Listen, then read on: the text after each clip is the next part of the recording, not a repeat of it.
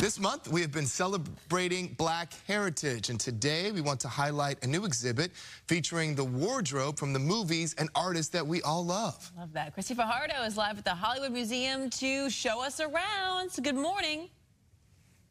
Good morning, and so many entertainers to love. There are 35 represented in this exhibit. Take a look.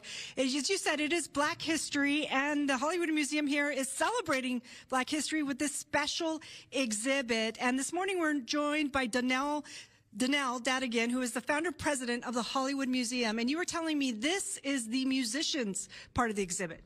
Oh, yes, these are all the great singers representing actually more than 70 years. It's so much fun, whether it's Eartha Kitt, whether it's Lena Horne, Natalie Cole, you know, Whitney Houston in her Dolce Gabbana. Whoa.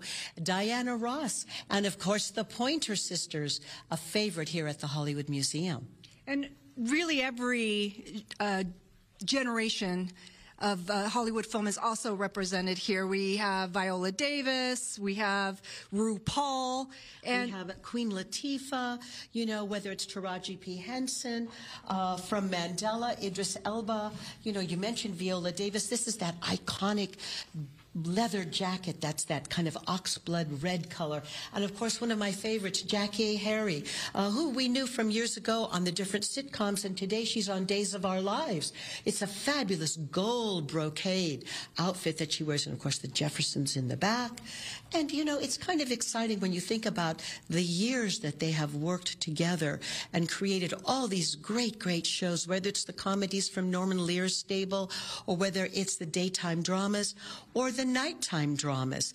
It's amazing the iconic characters that are reflected here in this exhibit. And which is really, really incredible is just the level of detail in some of these costumes and not only how they honor history, but in some cases are pieces of history. And you were talking to me about that right over there, that costume that uh, Whoopi Goldberg wore in The Color Purple. Tell us a little about that. Well, it's kind of exciting because this costume is representative of the era. And, you know, it's interesting because this is well over 100 years old, this blouse, this beautiful striped, striped blouse with such detail work. And we were surprised when we were preparing this for exhibit.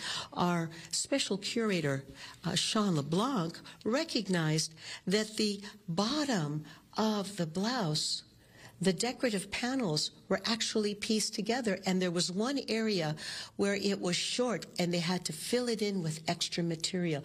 I guess you know in the 1800s fabric was at a premium and this was really beautiful and to think you know that Whoopi Goldberg wore this blouse when she was in the color purple. And I'm sure that also helped her get into character and, and, channel people from that era. And um, thank you so much, Donelle Dadigan. There's also jewelry here, spectacular jewelry, and I will show you that in the next live shot in the next hour. Listen it back to you. All right, Chrissy, thank you very much.